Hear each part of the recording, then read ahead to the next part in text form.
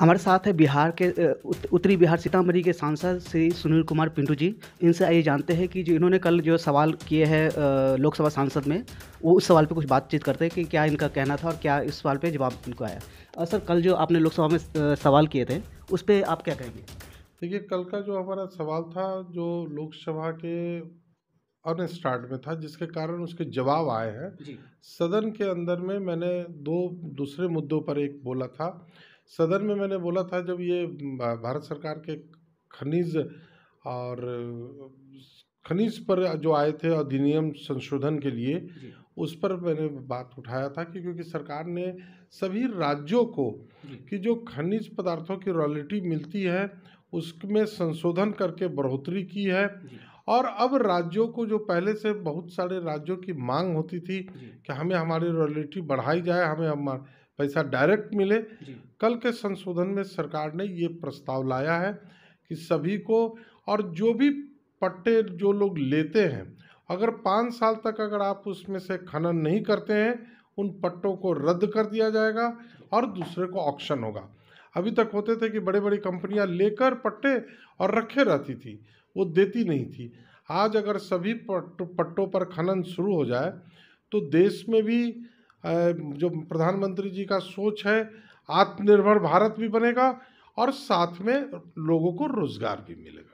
जी। दूसरा सवाल आपने जो है कुछ बाढ़ प्रभावी को लेकर के भी जो कुछ ऐसा सवाल किया था तो उस पर भी आप क्या कहेंगे? एक तो हमने क्वेश्चन डाला था जिसका जवाब कल आया था कि पूरे नॉर्थ बिहार में पूरी तरह बाढ़ से कर लगभग चार से पाँच महीना बुरी तरह लोग डैमेज रहते हैं। तो और इसके संबंधित हम लोग पूरे बेतिया से लेके और कोशी तक के एमपी मिले भी थे प्रधानमंत्री से।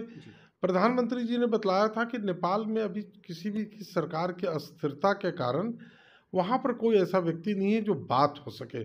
सरकार स्थिर बने तब जाकर बात हो कि नेपाल की जो पानियाँ भारत में इन करती है खासकर उत्तरी बिहार में तो हम वहाँ पर हाई डैम बना सके जिससे बिजली भी बन सके और खेतों को पानी भी पहुँच सके।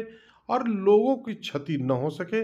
इस संदर्भ में उनका कल एक जवाब भी आया है और माननीय प्रधानमंत्री जी भी अपने स्तर से इस बात में लगे हुए हैं कि नेपाल की स्थिरता के बाद इस पर प्रयास। हो जी एक आखिरी सवाल। अ, बिहार में जो शराब बंद है और इस शराब पे कई कई साल हो गए बंद किए हुए इस पे कितना परसेंट जो है अब तक सक्सेस हुआ है और आगे बिहार के वासियों जो जनता जो शराबी अब तक शराब पीते आए हैं उन लोगों के लिए क्या संदेश देना चाहेंगे?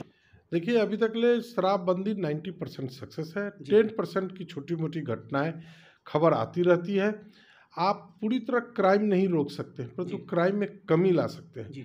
तो सरकार लगातार प्रयास कर रही है पुलिस पदाधिकारी तक इसमें अगर शराब के मामले में संलिप्त पाए जाते हैं तो उन पर भी कार्रवाई हो रही है। वे लोग भी जेल जा रहे हैं। शराब लगातार पकड़े जा रहे हैं लोग बाज मानते नहीं हैं। जब तक जन सहयोग नहीं होगा तब तक पूर्ण रूपेण शराबबंदी संभव नहीं है। पूर्ण रूपेण शराबबंदी के लिए जन सहयोग बहुत ज़रूरी है। और माननीय मुख्यमंत्री जी का बार बार ये कहना है कि आप अपने घर में खुशहाल रहें, शराब न पिए, जो पैसे बचेंगे उससे आप अपने परिवार के साथ और खुशियाँ व्यतीत कर सकते हैं। धन्यवाद सर बात करने के लिए। तो ये थे हमारे साथ जो है सीतामढ़ी के सांसद श्री पिंटू कुमार जी। तो आपने देखा पूरी बातचीत। बने टीवी न्यूज़ के लिए रामचंद्र कुमार को दिल्ली से।